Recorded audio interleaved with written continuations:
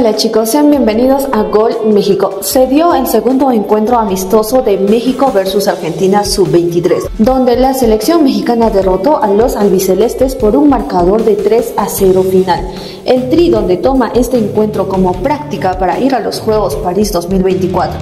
Los aztecas demostraron ser capaces de derrotar al seleccionado dirigido por Javier Mascherano Periodista Tico elogia a la selección mexicana, afirmando que México con este triunfo puede buscar un recambio generacional. Escuchemos lo que dijo este periodista de la selección mexicana. Un gol de penal, de penal Muñoz y otro de media distancia de Árciga.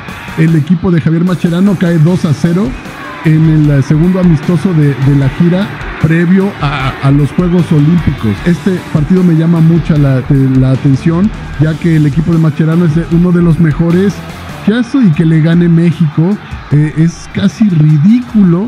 Esto lo digo porque en lo futbolístico México no es gran cosa, ¿no?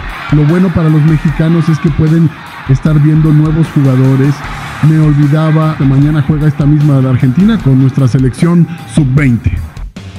Como escuchamos, es increíble cómo el Tri derrotó a los albicelestes por un gran marcador de 3 a 0.